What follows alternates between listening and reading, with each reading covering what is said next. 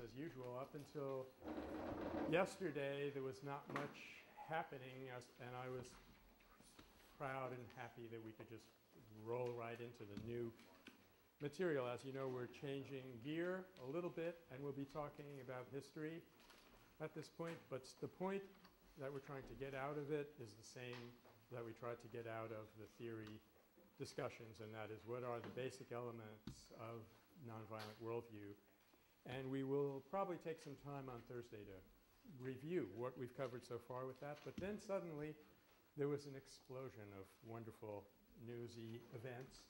And I wanted to remind you that there is this progressive festival taking place in uh, Petaluma, California, which is about 45 minutes north of here, old uh, egg farming country. Uh, egg and potatoes, but then they silted in the bay, and so now it's just eggs. And uh, at the Progressive Festival, which is more to the point, there will be a presentation on a new book called the Impeach Book. And you can perhaps begin to guess what that book is about. And uh, there'll be a panel on that, and then some really interesting folks from the progressive world.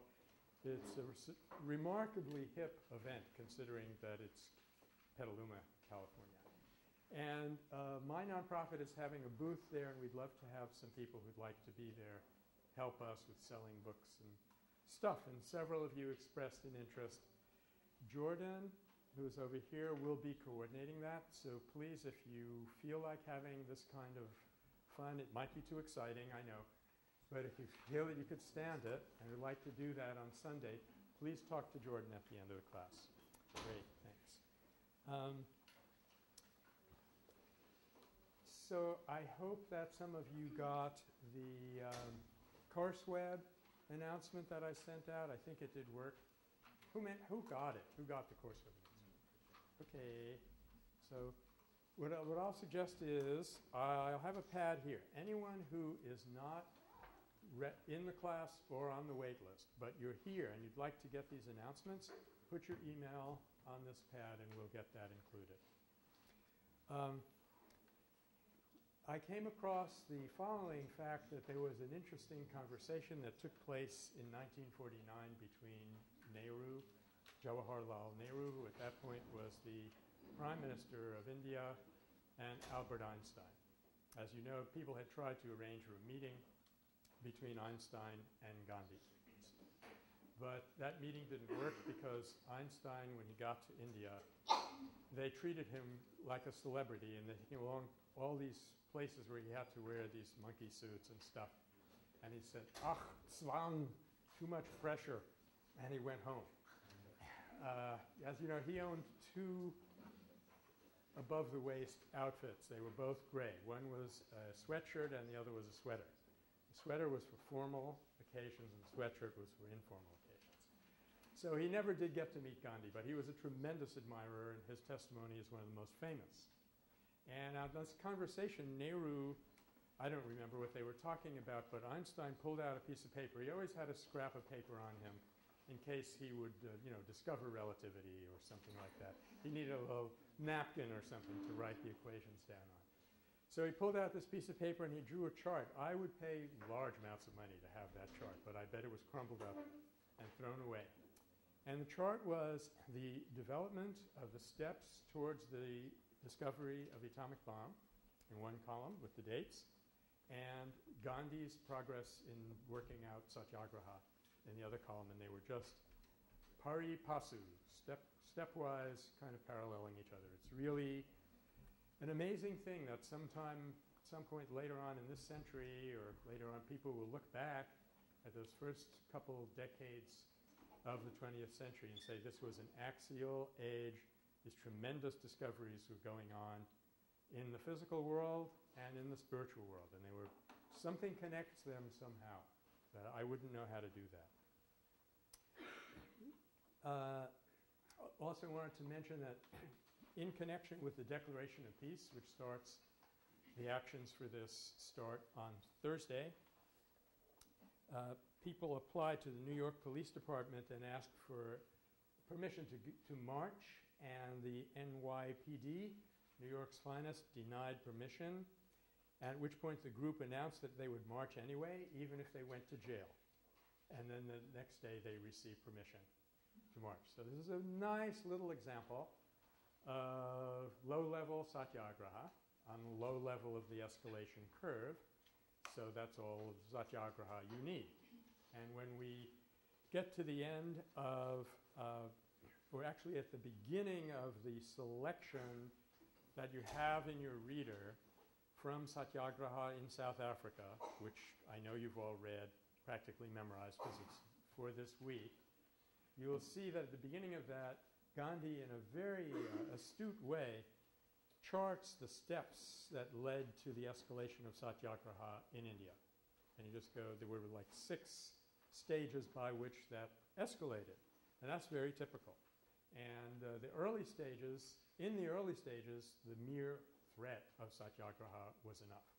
When the threat isn't enough, you have to be ready to go through with it.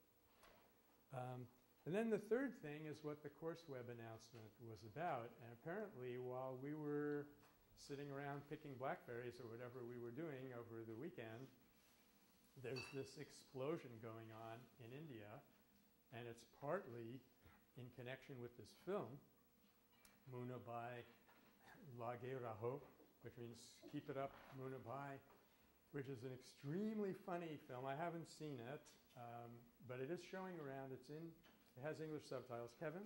Yeah, I'm going to see it tonight. Okay. Indian friends are going to see it in uh, Fremont.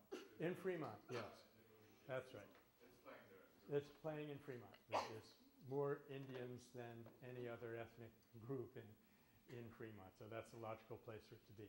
But yeah, I've heard that it's extremely funny, and these two friends of mine who saw it are pretty into Gandhi. One of them used to work with educators for nonviolence, and they said they were not offended. Now that's a big statement.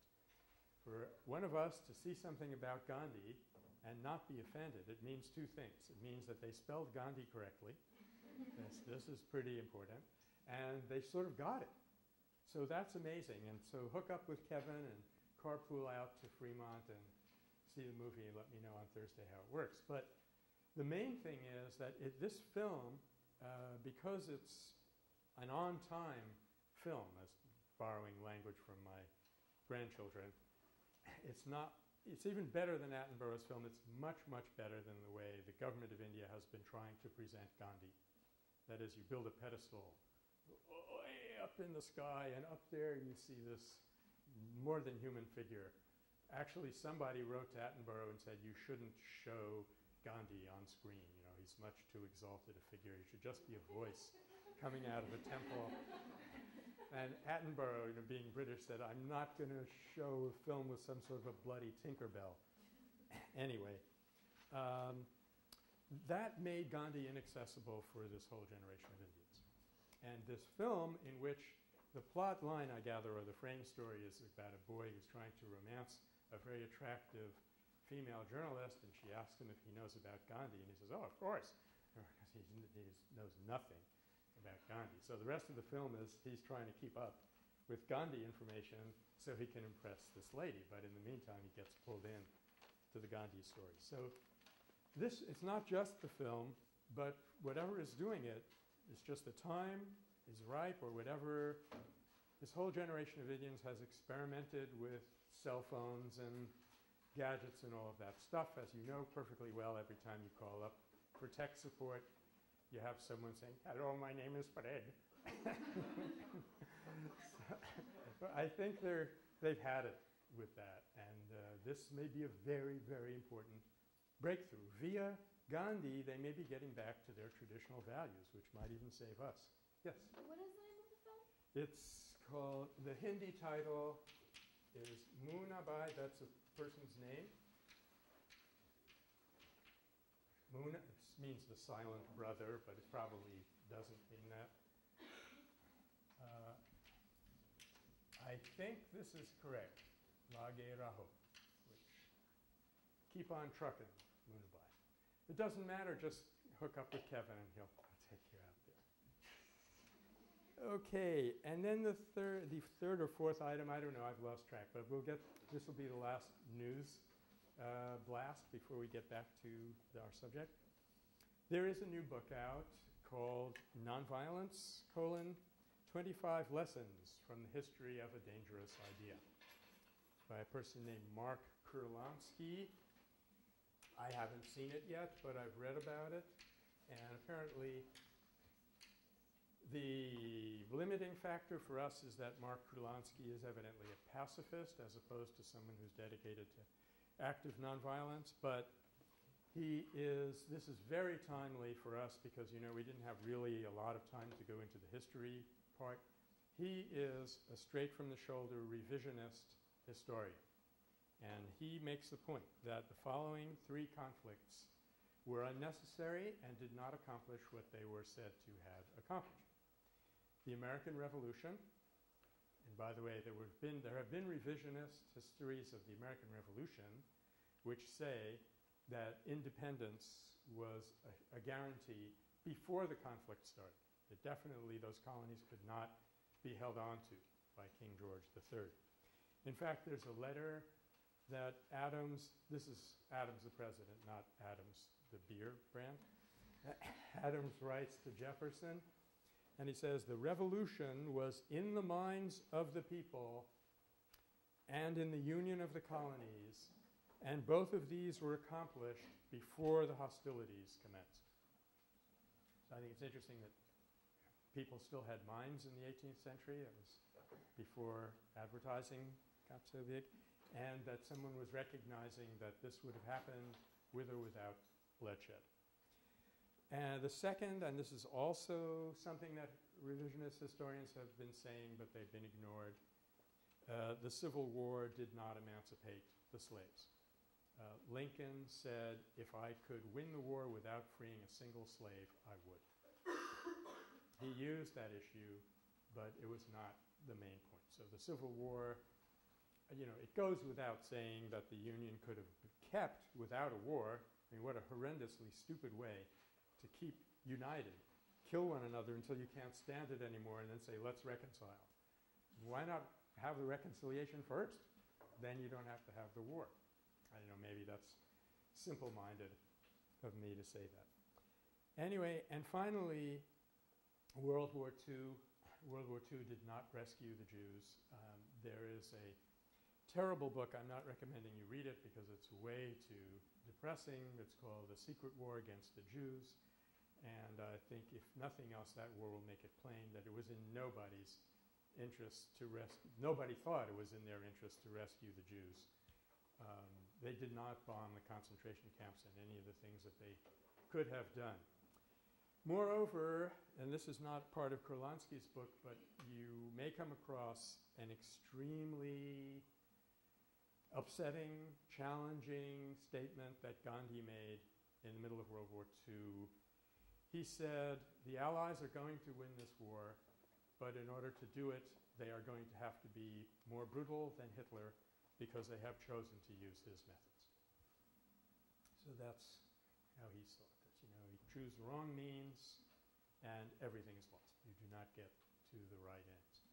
So because we chose to fight the war with his methods, we have to be more aggressive, more potent at using those methods than he was in order to prevail. So this is, uh, as I say, minus that last observation, which I couldn't help making. Uh, Kurlansky is a very good example of someone who's doing history uh, in a way that shows that we have been learning and teaching history in a very skewed way, which makes it look as if war is inevitable and useful. And when you really step back and look at the big picture, it is neither. Unfortunately, I don't think this will work. Uh, we were discussing last time whether this would fly in the historical community, and that would tell us something. And I don't think this will work for that because Kurlansky is apparently something of a popular writer rather than fully documented seven PhD Berkeley, Harvard, Yale historian, I think. Anyway, okay, so that was my exciting weekend. And one other thing happened over the weekend that will be relevant for you, and that is I had an aha erlebnis. We've discussed these German chimpanzees have this all the time. Mm. I realized that the model that we'd been talking about, the model of the three gunas, the three energy states, the three action dispositions, could help us solve one of the problems that we'd talked about. Um, so let's look at work first of all. Uh, tamas is action, And this is ruled out right away. I mean, the first thing that Sri Krishna tells Arjuna about action is you can't not do it. He says, I understand the impulse, but forget it. It's not possible. Even if you were a Berkeley graduate student and you needed to earn a little extra money and you signed up for one of these sensory deprivation experiments that they used to do in Tolman Hall, where you float around on an inner tube in a completely darkened room and, and a pool of warm water, they did this for all these graduate students, and they gave them their 450 an hour or whatever you give a graduate student. And uh, you hear Jolena? Yeah. And then uh, at the end of the experiment, they asked them, you know, well, what went on in there? I said, my mind was racing like crazy. I've never been so agitated. So even if you're not active physically, the karma-producing engine, known as the mind, will be active and even more active. So that's tamasic action. Rajasic action is, um, is let's say, ill-advised, call it that. It's action without a well-chosen goal, and more important than that, more important than anything, it's attached. You are personally attached to the fruits. The minute you're saying, oh boy, I accomplished this, you are acting rajasically. And that also, it's much better than inertia, right? Because if you're not acting, you'll never discover whether you're attached or you're not attached, whether it was the right action or the wrong action, whether your means were right or wrong. You'll never discover anything. So at least, you know, get out there, make big mistakes, and then realize them and recover. In fact, St. Augustine said something which uh, is a bit risque, but he's a saint, so I guess he gets to say that. He said, now, they didn't have exclamation points in Latin, but I'm going to give him one. Pecca fortiter. Sin staunchly. Don't get out there and nickel and dime yourself to death. You'll never discover anything. Make huge mistakes and realize it and suffer and correct course. So this in, in this sense, rajasic action is a step better than tamasic action. But sattvic action is, of course, the type that we were talking about last time, where you are not attached to the palam, to the personal benefit of your work. So the three kinds of action that the Gita lays out, they're knitted together with this guna theory in chapter 18. There's actually several other very neat things that that text says about action, but we are a little pressed for time. But now, with regard to violence, nonviolence, I suddenly realized we could also use this model. Uh, tamas is cowardice. And I'm not just saying that because in chapter 3 of the Gita, which I didn't ask you to read, but was very neat, Arjuna asks Sri Krishna a very poignant question which many of us can relate to. He says, Why is it that I keep doing things that I know to be wrong? And when Krishna answers him, he says, You are being driven by rajas, and that becomes two things in your consciousness kama and krodha. Kama means selfish desire, and krodha means anger. Right? Now, these two very deep sanskaras that we all inherit from our animal background, they're part of a list, the list of three. Kama, krodha, and bhaya is the third one. Bhaya means fear. And uh, why didn't Krishna mention it in regard in response to Arjuna's question? Because Arjuna did not say, "Why is it that I don't do things that I know to be right?" That would be a result of the guna of tamas expressing itself through our deep samskara of fear. He, rather, he asks him, why do I do things that I know to be wrong? And that's the next guna up, and that expresses itself as anger and greed.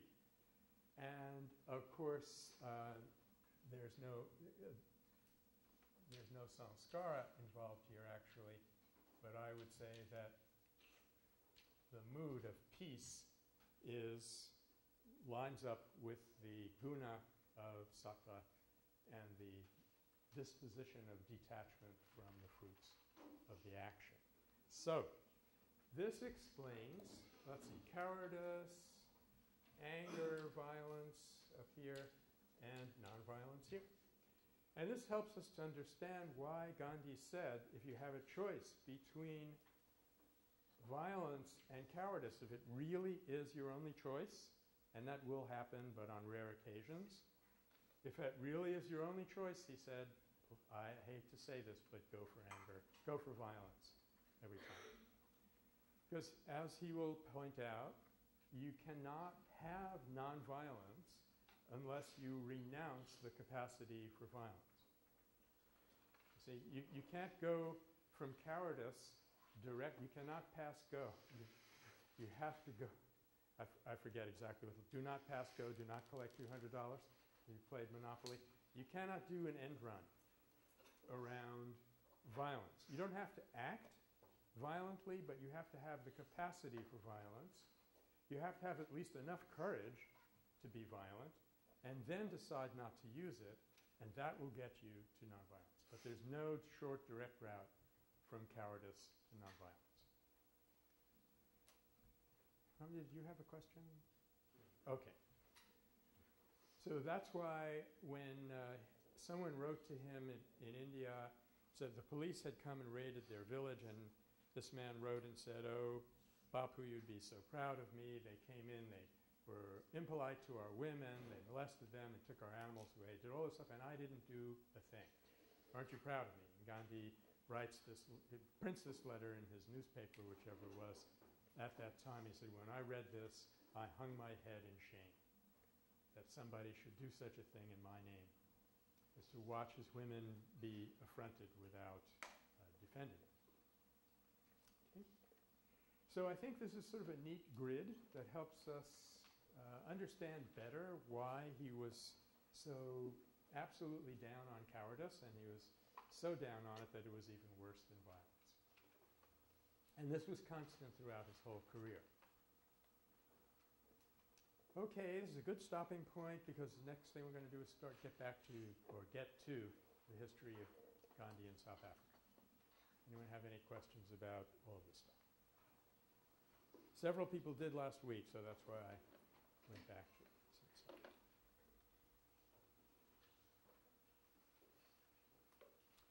Okay, this is this is not your absolute last chance, but it's your last chance for right now. So, good.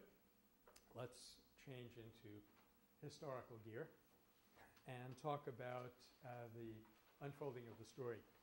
I'm not going to say much about Gandhi's early life. Uh, you'll find a good account of that in any of the biographies. And do remember, if you go down University Avenue to Bazaar of India, a couple of blocks below Milvia, below uh, Martin Luther King, they have copies of the Nanda biography there.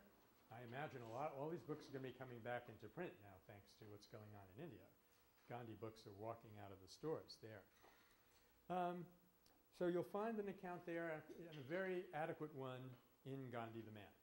And everybody has that. I think we've got enough copies of that. And it will make it perfectly clear that Gandhi accepted this job in 1893.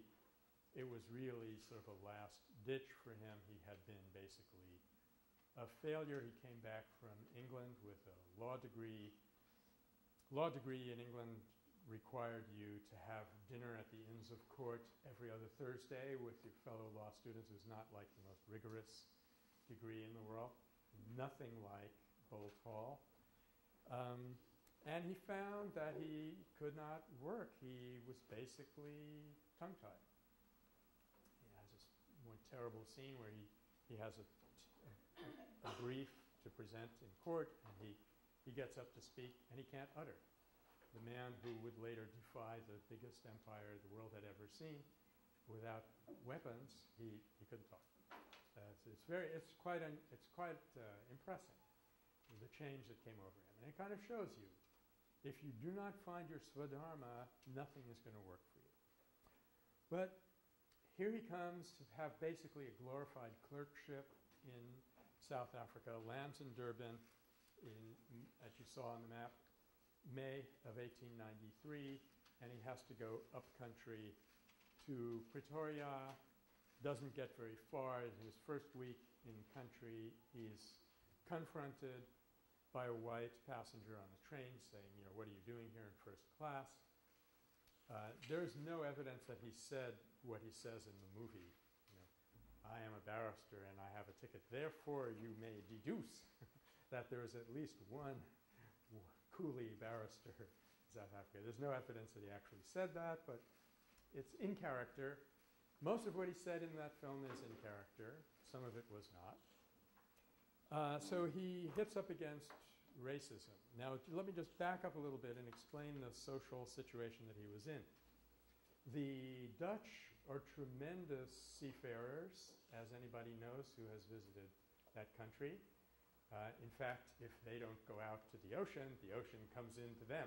So they have to build these dikes and things like that. Um, and in the early 16th century, imagine that, they started landing in South Africa, subdued the quote native population.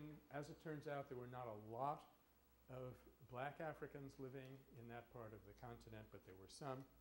So these Dutch uh, turned them into slave laborers and uh, began to exploit the beautiful fertility of the soil and the, the kind nature uh, in South Africa. I have some South African friends who tell me that San Francisco is more like Cape Town than any place else they've ever visited. So it's a really nice weather like we have here. And then uh, in the 1850s, so a lot later, the British start arriving. And as you can imagine, there never had been all that much goodwill between the British and the Dutch. In fact, uh, there's one dialect of Dutch languages which is comprehensible to one dialect of Anglo-Saxon, and it said that Frisian and Anglo-Saxon fishermen would meet one another out at sea and they would curse at one another in their respective languages. And the British went around singing, in matters of business, the fault of the Dutch is uh, giving too little and asking too much. So there's a little rivalry here, which in itself is not surprising, but I want to underscore it because not only does it show you what the complexities of the situation are, okay, I, I guess I want to say two things about it. Everyone who is non-European and is in a minority is going to be caught between these two big mill wheels. And we have seen that over and over and over again. British, they don't want to fight the Dutch because the Dutch have modern weapons. And uh, in fact, they fought fantastically well and hard in, Boer, Boer War. That's coming up. The first guerrilla war, actually. They don't want to fight the Dutch. So what do you do? You say, let's you and me hate the third party, which is a minority, can't fight back, and that'll temporarily resolve our tensions, and we'll talk a lot about this when we talk about scapegoating later on. And it'll hurt nothing because it's only people who don't count and don't have a voice. We've seen this over and over again. You know, let, let's you and me hate them. And in fact, it goes back to animal behavior. Uh, Konrad Lorenz, who's an expert on aggression, he points out that if these two gray-legged geese meet on a narrow path, it's sort of like high noon for geese, and they're very, they fight very hard, these animals. They're very aggressive, so that they need a way to not fight or they'll lose too many feathers. So they've worked, nature has provided them with a way. They go into a victory dance. And they say, boy, did we hand it to that sucker. Watch him run. Ha, ha. And of course, there is, no, there is nobody in sight, but just by putting yourself in the you and me against them mode, you avoid fighting with one another. My last article that I wrote when I was still having an honest job as a classics professor on this campus, and I'm not necessarily recommending that you go out and read it because it doesn't put any money in my pocket. Uh, there's an article about the Odyssey in which I showed that heroes who are you know, kind of building up to a fight, one of the ways they avoid it is they, they say they struggle over who is better at controlling the women. And whoever can, can oppress the women wins the struggle between the two male warriors. Okay, so that's one thing. There's, there's a basic underlying dynamic here, which is going to put the, quote, Asiatics in South Africa. They're not, e- not even get into what happened to the native inhabitants, so that will figure into Gandhi's story. But the very large number of Indians and small number of other Asians who were there are really going to be caught in this tension between two, for them, to all intents and purposes, superpowers. The other aspect of it is at least as encouraging, and that is that out of this struggle grows World War I and World War II. And the only reason that it hasn't grown into World War III is that one of the parties couldn't afford the weapons, and there was no uh, triumph dance that anybody knew how to perform. Certainly, President Reagan was not about to do that. So it kind of collapsed, leaving one superpower. But this is the system that's sometimes been called mercantilism.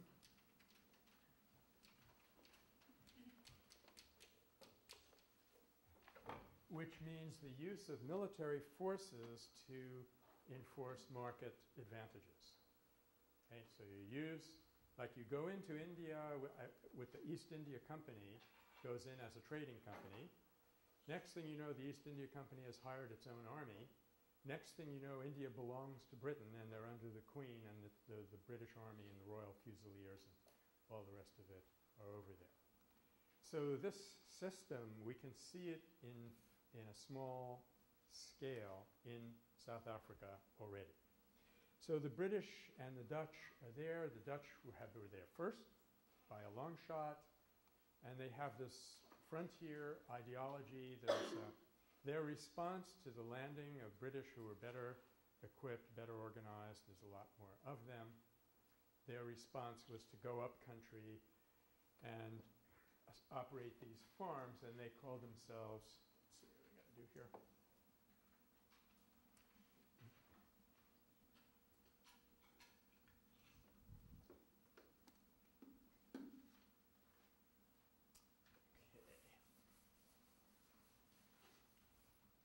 They call themselves farmers, the Dutch word for which is boer.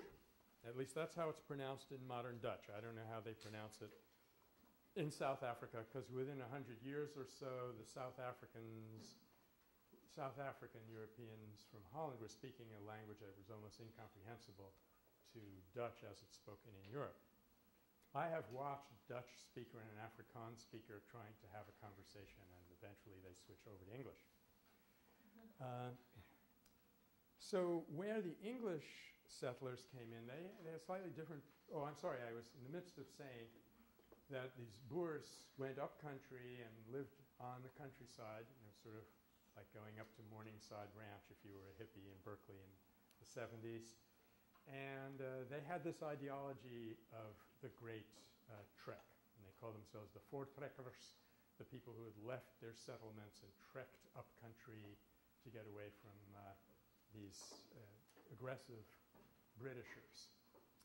Um, now, when the British arrived, they uh, wanted to do sugarcane, coffee, and of course, tea.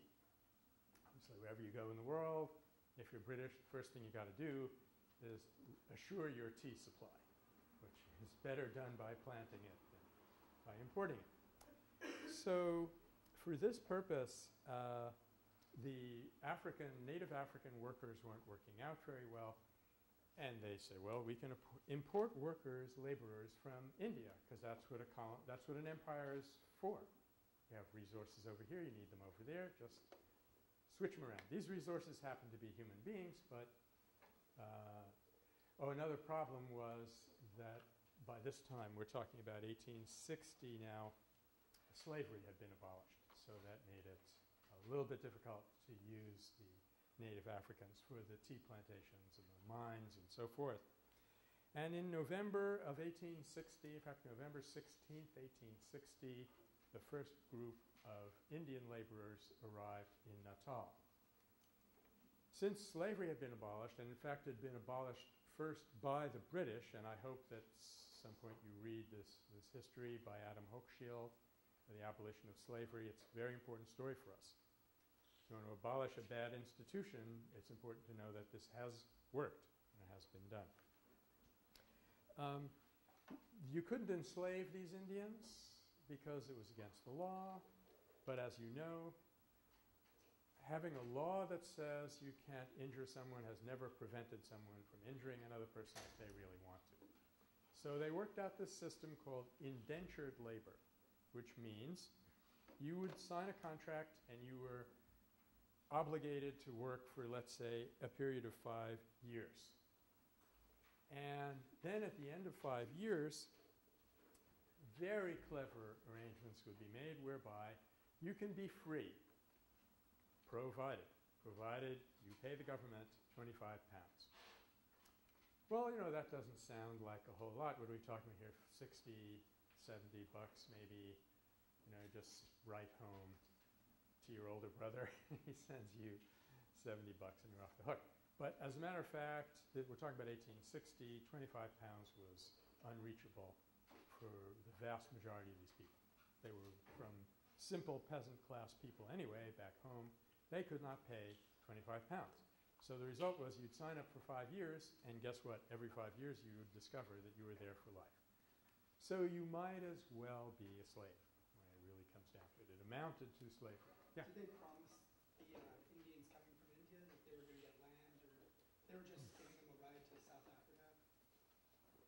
Yes, and, and work, and they did house them. And so, for example, uh, if you were a mine worker, the company would give you housing under not the, the best of conditions. But at least it was work and subsistence, and maybe a little bit over subsistence. So they just they offered subsistence pretty much. Yeah. Subsistence and I didn't know if there was transportation. like a prize at the end of it, No, the prize was you now had to pay the government. Well, I mean, look, my grandfather, I, he runs away from home in the early teens. He's bumming all over Europe, and finally somebody offers him a terrific deal. If you can scrape together a lot of money, which was probably equivalent of what we're talking about here, we'll bring you over to America. When you get to America, you'll have a job waiting for you, an apartment waiting for you. So poor grandpa, he says, "Oh, such a deal." So he gets he gets on the ship. He pays this money. Uh, lands somewhere in uh, Chesapeake Bay, I think, only to be told that he now owes the company the same amount of money that he already paid. So he ends up literally, is literally true. He ends up working in a salt mine in in uh, America. So it was the same sort of thing. You can make promises, but they don't have the power to make you fulfill those promises.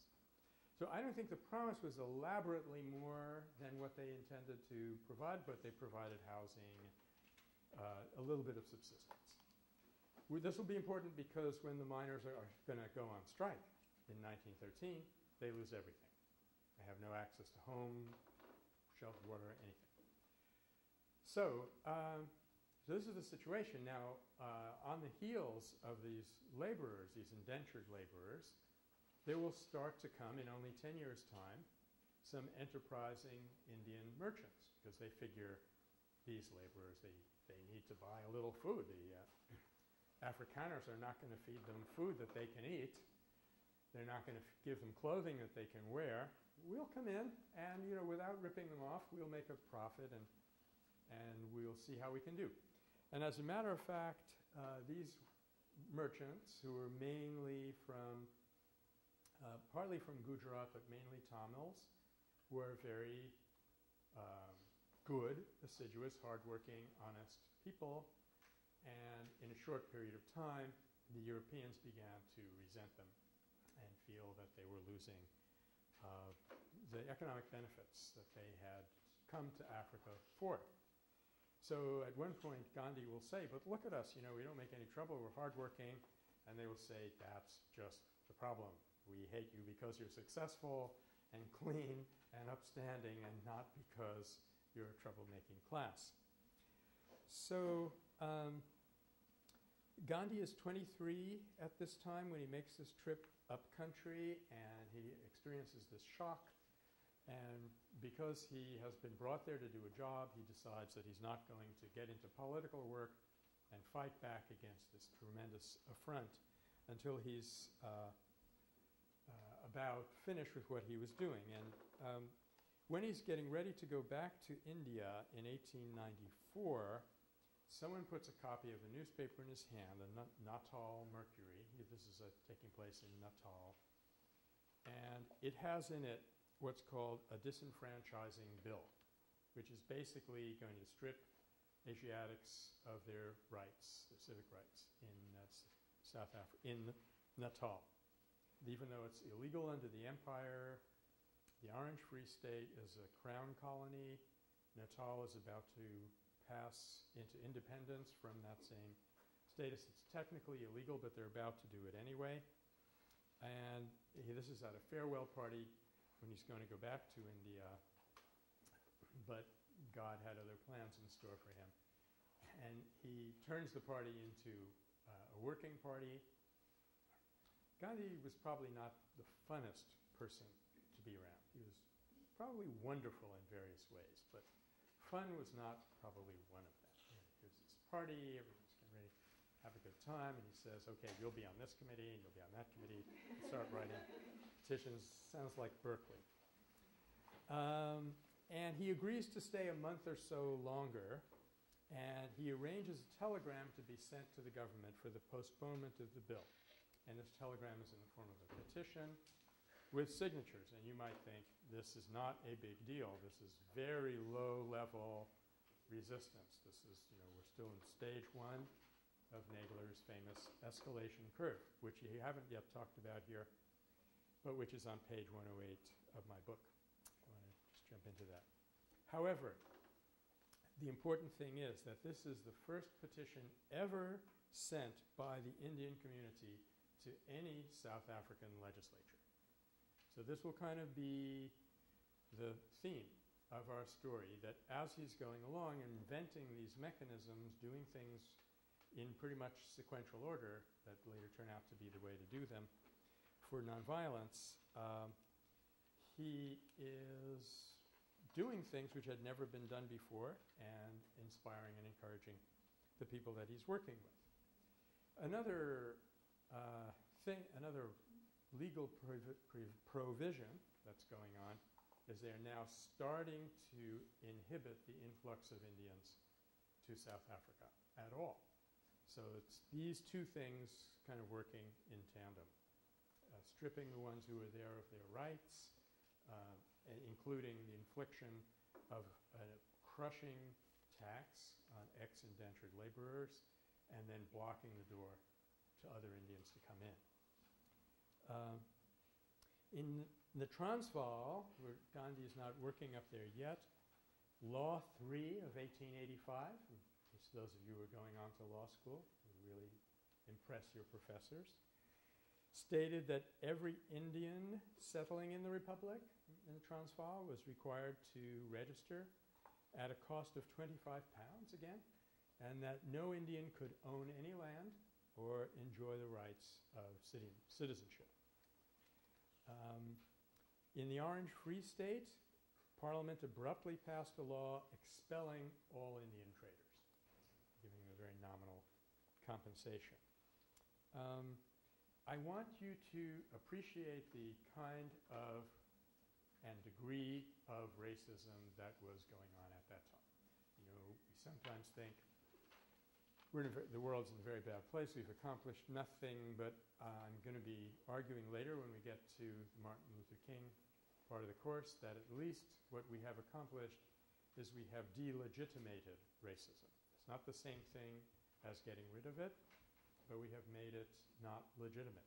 At this point, it was it was the paradigm. Uh, in 1881, the Transvaal Parliament received a, position, a petition which stated, among other things, these Indians have no sense of decency. They suffer from loathsome diseases. This is a standard uh, claim made in all schools of racism, you know, sickle cell anemia, all the rest of it. They suffer from loathsome diseases, which makes you feel that you shouldn't have any contact with them, they're unclean. They consider women as their prey. I mean, this could have been written in Alabama in uh, 1920. They believe that women have no souls. This about a country where there are two very large regions of India in which God was worshipped in the form of a woman, something which they never, never would allow in any Christian country, and yet they're being accused of feeling that women have no souls and so forth. Uh, another document, this is said by President Kruger of the Transvaal when he had received a delegation of Indians in his office, and he said to them, You are descendants of Ishmael, and therefore, from your very birth, bound slave for the descendants of Esau. That's us. As the descendants of Esau, we cannot admit you to rights placing you on equality with ourselves. You must rest content with what rights we grant you. So I just wanted you to get a sense for what the situation is down there. Um, it, it was the first time that Gandhi had encountered this in your face racism. The British had been far too clever to do that in India or in the UK.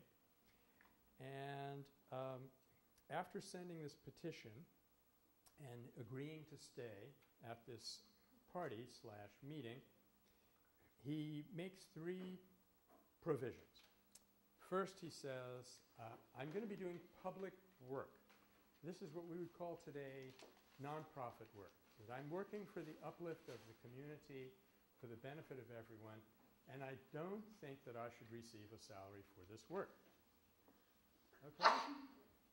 So, what are we talking about in terms of the Gita's theory of action? Selfless action, Selfless action, and in particular, Amy, detachment from nature. for detachment from the refruits, exactly. Yeah. So, yeah, Don? Well, that's what I was going to say now. Uh, Gandhi did eat. All right. And he didn't eat much, but he ate. In fact, uh, later on in India, there's a wonderful statement by Madeleine Slade, Mirabehn, who was kind of in charge of victualling him, and she stated to the press or somebody, Gandhi likes dates from Arabia, oranges from Spain, something else from somewhere else. She said, it takes a lot of money to keep Gandhi in poverty. so he did need an income, and he said, if you will send some work in my direction, I'll work for you as a lawyer, earn a reasonable amount of income that way, and then I'll do the public work without salary. Uh, second, he said, this, we're in this for the long haul, and this is really a shrewd thing for him to observe because from now until May, the end of PACS 194B, we're going to see a lot of movements that burst into action, get very excited, and as soon as they accomplish something, or sometimes even if they don't accomplish anything, they go back to where they came from, it subsides, where the forces of oppression make no such mistake. They feel they're in the saddle, they want to stay there, and they, uh, they have the great advantage of endurance.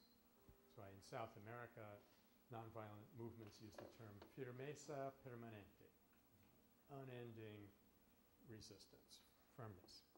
So he said, we're in this for the long haul, and we need a permanent organization to watch over Indian interests. And therefore he formed uh, an Indian colony, the Natal Indian Congress was founded in May of 1894. It was modeled on the Indian Congress in India, which was basically a talk shop. The British had set it up in their cleverness to let off steam and give, give people a chance to talk to one another, especially if they praised Englishmen in there. I've read some of the speeches from early years of the Indian National Congress. They're, well, they're kind of appalling. Uh, so it's again the idea of letting off steam without having it accomplish anything. Um, but Gandhi saw that with no body to no no space, body to represent them, they needed to form some kind of organization. And third, his very important observation. Side by side with external agitation, that is between us and the colonial governments, the question of internal improvement was also taken up. Now, anybody who has like taken a course with me or read a book of mine or hung out in a coffee shop for more than 15 minutes where I was present will know that I am obsessed, I guess I have to use the word, with something called constructive program. And we'll give it its, this is an important element that we're hitting into. Constructive program. This is what it will be called some decades down the road in India when he formalizes it and creates 18 projects which are pulled together uh, in this overarching program. So it's British spelling. Now, the reason that, I mean, constructive program has many advantages. It's the reason why I consider it so important and why I was thrilled to recognize, to learn that Gandhi had started it so early, which is basically almost the same month that he starts external agitation against the regime, he starts internal improvement. So constructive program, we'll discuss it uh, repeatedly, but for, for now and here, let's just say it has two humongous advantages. One is that you're dealing with your own community, so that's infinitely easier than dealing with community of people who are oppressing you. They're right there, they trust you, they understand your language. It's just much more efficient to work with your own community. Secondly, as the term would imply, it's constructive, darn it, as opposed to obstructive or destructive obstructive program, destructive program, they all have their place. But as I keep saying in all of these coffee shops and wherever people will pay my way so I can go there and talk to them, it is far more efficient to build what you want than to ask somebody else to give it to you. You ask somebody else to give it to you, you are more or less implying that you are helpless. And this is a very false and bad thing to say if you are a nonviolent actor. In fact, whoever you are, it's just not true. I am helpless. I need you to do this. I can't do it for myself. It's a bad approach. And um, even deeper than that, I would say, we're talking about a positive force, as we were emphasizing from the get-go, from our first time that we were together. I was saying we have to recognize that, that satyagraha, nonviolence, comes from a positive kind of energy, and that's why we use Boulding's model of integrative power along with threat power and exchange power. So obviously, if you're dealing with a positive form of energy, something which in Plato's language is ontos on, it's actually real, it's existing, existent, then constructing something with this constructive energy is going to resonate with the ultimate nature of that force. Whereas to block somebody and say, I won't let you do this, where you have to do it sometimes, it doesn't have quite that same resonance. So I think one of the things that characterizes Gandhi's approach to nonviolence, makes it particularly Gandhian from the very, very start, was stumbling upon the power of constructive program. He's not even using the name yet, of course. So, um, there, uh, they submitted petitions. Uh, they, they, incidentally, they only gained a postponement of one day. Remember, they sent this petition, say, please postpone consideration of the bill. The government said, yes, magnanimously, we will postpone it until tomorrow. So in, in one way, you know, they didn't accomplish very much, but in another way they did because they sent a petition and that petition was responded to positively, and both of those things had never happened before. Now, uh, Natal was still under the crown, and Lord Ripon back in Britain was the crown secretary for the colonies. And uh, after a visit from an Indian delegation, he disallowed the franchising bill. This is terrific news. On the other hand, uh, he also disallowed it like the week before Natal was to gain its freedom. So all he had to do was rewrite the bill the following week and put it back in. So this is a story of trickery and betrayal. Uh, but you're going to see Gandhi never using that kind of device and slowly, slowly, slowly gathering strength as a result of that. that that's another basic principle that we'll talk about pretty soon. Um, in 1896, Gandhi went back to India for six months to spread the story of what he was doing there because he felt quite rightly that he would get support not only from native Indians, but from the colonial government in India, who still felt in some kind of paternalistic way that they were watching out for the well being of their subjects. You remember the Golden Jubilee of Queen Victoria? She said, You may have had monarchs who were more efficient and effective than I, but you have never had a monarch who loved you more.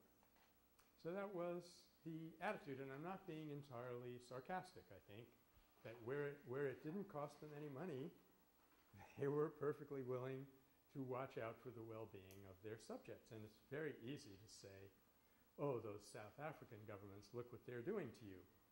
And that, if anything, it draws attention away from what's happening to them back at home. So he goes back in 1896 to talk to the colonial governments there and get their support. And he traveled around India for six months. He wrote a pamphlet called, later to be known as the Green Pamphlet. He printed it in 5,000 copies. That's almost exactly the same as my pamphlet, Hope or Terror. I just try to look for little ways where we can sort of line up. Uh, and then he heads for heads back to South Africa. Uh, now, you may have noticed that the press, mass media are not totally friendly to nonviolent resistors. Probably some of you have experienced this in the flesh, so to speak. And uh, I guess what we learned from this story is that was not something that happened like in the last 10 or 20 years. The minute you had newspapers, people realized that you could use them to tell the story that you wanted told, and that was a lot more attractive than telling what actually happened in many cases. So uh, Reuters, it's still the same. Mean, I, I get emails from Reuters news feeds every day, so the same company. They started saying that Gandhi is preaching sedition and he wants a whole-scale uprising of the Indians. And then as he, he headed for South Africa on the SS Courland, they sent telegrams saying that he has three boatloads of Indians who want to settle in South Africa, none of which was true. So when he arrived on January 13th of 1897, January 13th is very close to Martin Luther King's birthday, but that five decades later. Um, there's a mob that's been inflamed by these exaggerations and false reports, and uh, they're standing there on the dock waiting for him, and he's facing this very interesting dilemma. On the one hand, he's read the Bhagavad Gita just like everybody else, and he knows that cowardice is the worst thing you can do. He wants to go ashore, but he's, uh, he's met by a Britisher named Escombe who advises him not to go ashore, and uh, he sneaks his family out. It's, it's a very awkward thing. Finally, uh, they, they claimed that the, there was a typhoid patient on the boat and it was qu- quarantined, so he's sitting there for 21 days. Nobody had typhoid on the boat, to our knowledge. Um, sitting there wondering what to do. Finally, he did decide to go ashore. And if you've seen Philip Glass's opera Satyagraha, you know what happened. This is not a scene that was in Attenborough's movie. He went ashore, somebody spotted him, the mob attacked him, and they beat him unconscious. He held onto a fence to keep from hitting the ground. And it did not look as if he could possibly survive this kind of ferocity. But Mrs. Alexander, who was the wife of the British police superintendent, happened to come by. And fortunately, being a good colonial wife, she was armed with a 357 Magnum umbrella. She was carrying her umbrella against the sun, you know, her parasol. She holds that umbrella over Gandhi and says, Unhand this man, or words to that effect. Nobody knows what she actually said. And so, you know, faced with a woman with an umbrella, this crowd obviously forget all your principles and your anger and everything, and they melt back. And Gandhi was taken to uh, Inspector Alexander's home, and then the mob followed them. It's, I'm just telling you all these details because he's starting to work out how to actually be courageous and what makes sense to do uh, when you're faced with actual violence. And this is the first of two occasions on which he's going to be beaten unconscious before the actual assassination in 1948. So uh, he's taken to the police inspector's home, and the police inspector comes out and he says, What do we want to do? And he starts leading them in a song Let's hang old Gandhi from a sour apple tree. Wish we had the music to that. Really you know, send it to Bob Dylan and really write something successful. Uh, anyway, while he's leading the crowd in this rousing rendition of Let's Hang Gandhi from a Sour Apple Tree, Gandhi, disguised as a police inspector, sneaks out the back door. So, on the one hand, he is not, uh, he doesn't feel that he's just, you know, beginning to work with nonviolence. Nothing in him tells him that he has to go out and face that crowd and say, Here I am. This is, however, going to happen later on in his career. In fact, at one point in northern India, he was touring, and his people met him when he came to a certain village, and they say, uh, Whatever you do, Bapu, don't go to such and such a village nearby because the village headman has taken a vow that he will kill you on sight. And Gandhi said, Oh, really? what village did you say that was? And I said, no, perhaps you didn't understand. Do not, do not go there. He said, let's go. And so he went to this village right then and there, knocks on the door, village headman comes out. He says, hi, I'm Mahatma Gandhi. I'm here to help you fulfill your vow. And uh, sure enough, this headman, you know, everybody's watching him. Well, you're going to do it? He has to do it. So he reaches out and he starts throttling Gandhi. And Gandhi just is looking at him without a trace of fear. Probably repeating his mantra for all he's worth and just looking at him. And this goes on for about uh, maybe half a minute. Then this person drops his hands, falls to his feet, he begs his forgiveness, and turns the whole village over to him. So this is going to be the, the mature Gandhi. But I, I think it's good for us to know he was not born like that, and he worked his way up to it gradually. You know, it's not like one day he went up on top of Mount Tabor and he had a revelation and he came down and he was fearless. He's working out how to do this. On the other hand, he does do something in connection with this attack, which is vintage Gandhi, and which will be his response to brutality, personal brutality, his whole life. And that is that they come to him and they say, okay, you're a lawyer, I'm a lawyer, let's really find who uh, was the ringleader of this gang and let's get them in jail where they belong. And he says, absolutely not. Those people were not at fault. The only people who are at fault, if anyone, were the members of the press who put them up to this. So it would be wrong to uh, prosecute these people who were only carrying out what they thought was the truth. More, moreover, he will, he will go this far. Some, I think some months later when he's writing his account of this event, he says, as I was losing consciousness, he's holding onto this railing, is being beaten unconscious, falling to the ground. He said, I was not conscious of any feeling of ill will toward those people. Now that's, that's pretty far out. Somebody gets in front of me on my way up to the counter in uh, Andronico's, I am aware of ill will toward that person. In fact, I had a friend who was walking up to the counter of a, one of these big grocery stores with, a, with milk, because all he had was a carton of milk, and some, some person came rushing along with a huge cart piled up with stuff and rushed in front of my friend who had you know, nothing for it. He had to wait. So finally he got to the counter and put down his milk carton and guy said, that's okay, he paid for your milk. That's the kind of story I like. that's revenge of the milk buyer. But uh, it's, it's quite remarkable that at this relatively early stage, here are people who are beating him. As far as he knows, he's being beaten to death. And he is not conscious of any anger rising in him against these people. So that's pretty far out. And he will not persecute. But at the same time, he's willing to use some sort of uh, subterfuge to avoid getting other people into trouble and avoid creating direct confrontation with violence when he probably doesn't feel that he's really in his best, uh, got, a, got a good mechanism for dealing with it as he would, would feel later on. Um, in 1899, the Boer War broke out between uh, the British and the Boers.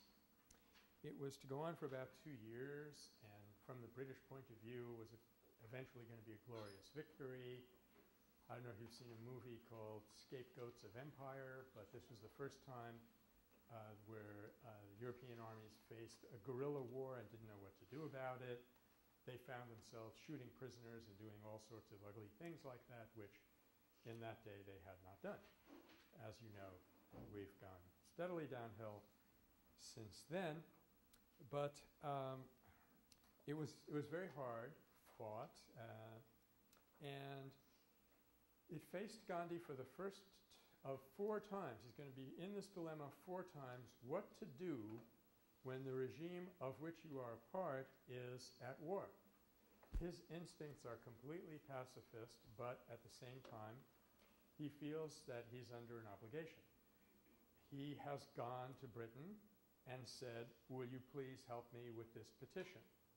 And they've responded more or less positive. Actually, they cheated him, but they, they responded having appealed for support to the regime, he does not feel that he has any right to deny it his services. So he's in this quandary. On the one hand, he doesn't, you know, as students in my seminar know, he does not have any stronger feeling for the British or against the Dutch. He's sort of like Yeats's poem, The Irish Airman Who Foresees His Death, is those whom I hate those whom I fight, I do not hate. Those whom I guard, I do not love.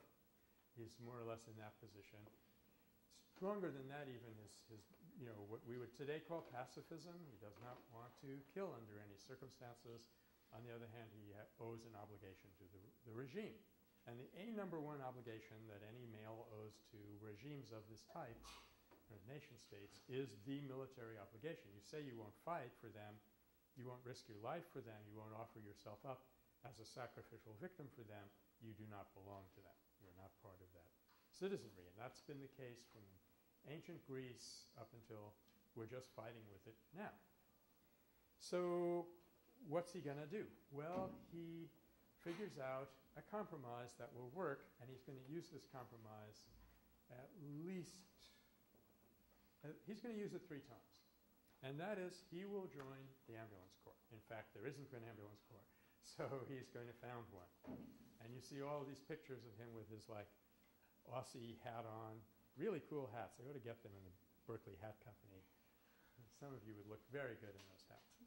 Uh, so you see him sitting there with these people whom he collected to be the ambulance corps. And they served very bravely. Uh, 10 going out under fire to rescue wounded people. They are mentioned in dispatches, which is, you know, what you want to have happen at that period. And there is an expectation, we have to be very careful here what this is doing, what it's not doing. There is an expectation that when he has served the empire so courageously, when the empire prevails in this conflict, they are going to be recognized and rewarded. Now, here's the point we have to be careful about. He didn't do it in order to get rewarded. He is very clear about that. If that had happened, we would be down here in this range of attached action acting for the fruits. And also, I think we would have to say that it would be manipulative. You do not enter into a question of life and death in order to manipulate others. But there was an expectation. This, this scene is going to be repeated exactly in 1918. There's an expectation that having fought for the empire, the situation will improve. Well, folks, think again.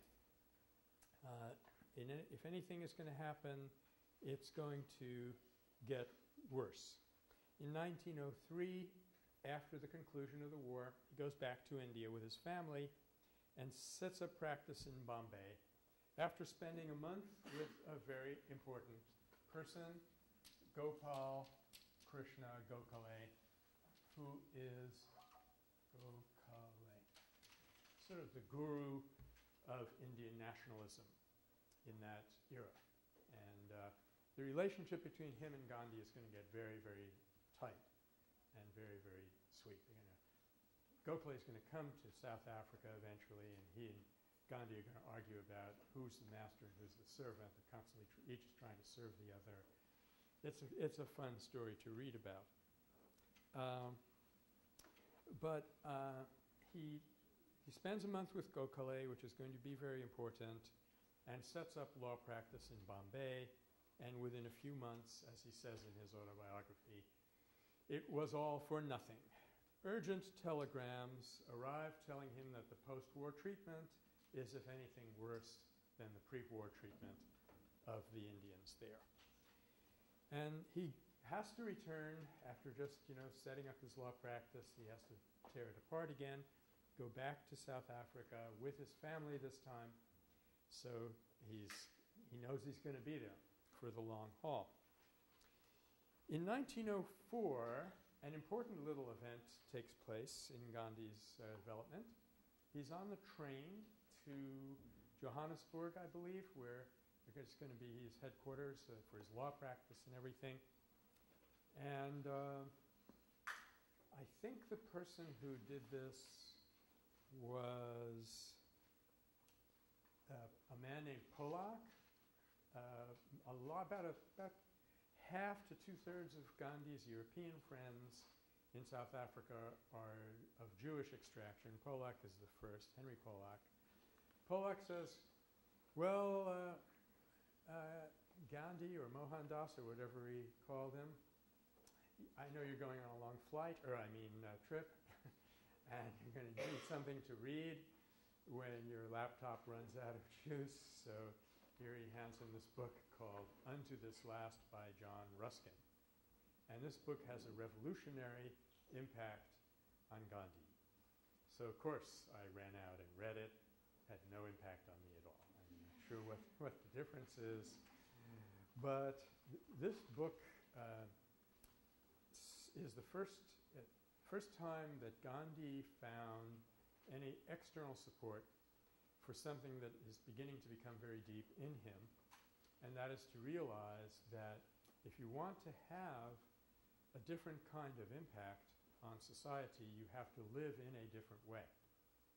As you can't drive your Lexus up to Starbucks and reach out your hand and get a non fair trade latte and then zip around and step on the picket line in front of the School of the Americas. Uh, you have to have a different attitude towards material work and possessions. Of course, this will become the famous theory that Gandhi will elaborate, which today we call Gandhian economics, which we'll talk about in the very end of the course.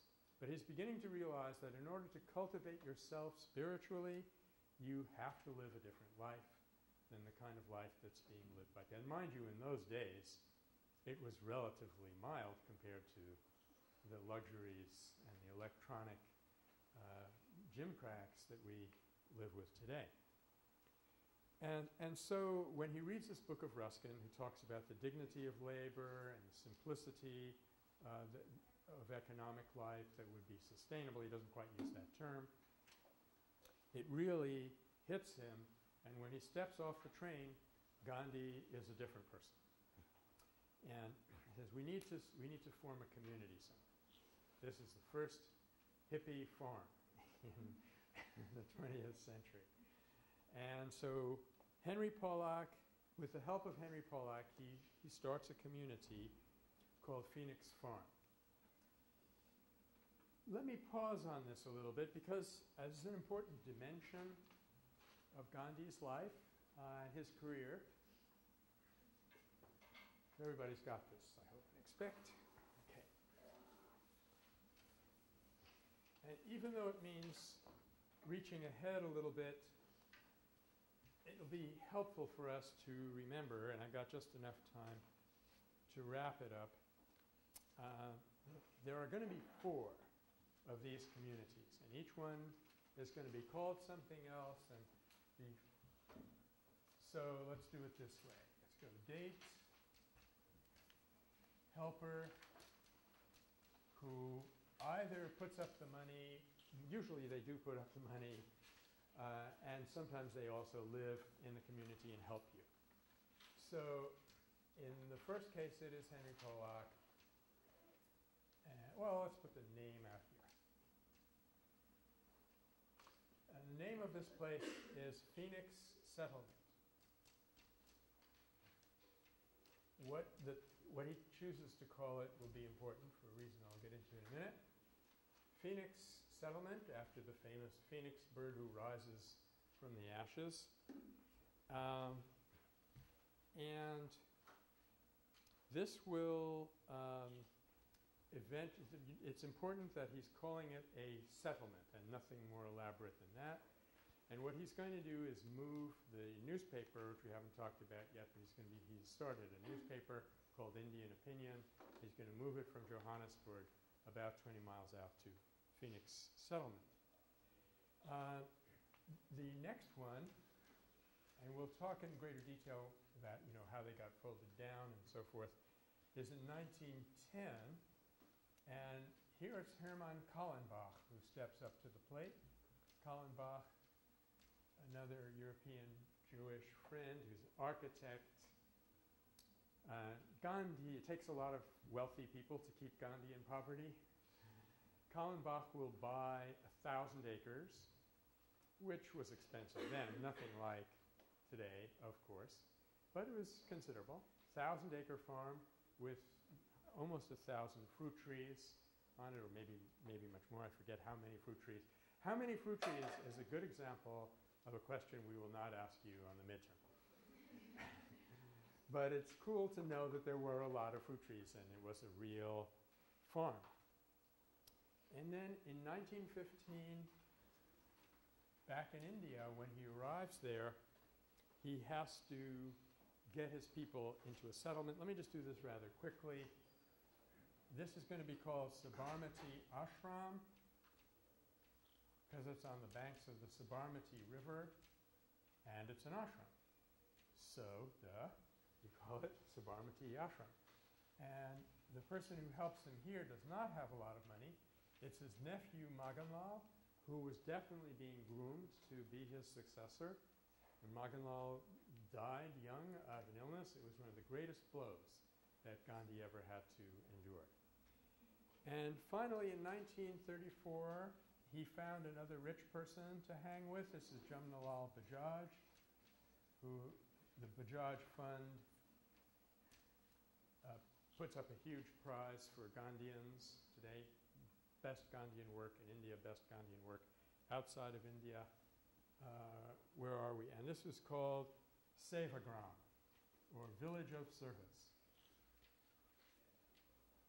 Sevagram Ashram. Now, let me just point out one thing of significance before you go in the nomenclature. And that is, these things are called settlement or farm, but when he gets back to India, he decides to, uh, what do we call it today? To come out? Yeah, he decides to come out as a spiritual teacher. And from then on, he says, wherever I live is an ashram. This community, an ashram is a traditional spiritual community.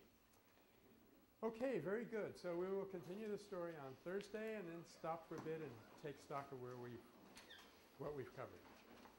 Remember, if you're interested in having fun on Sunday, talk to Jordan.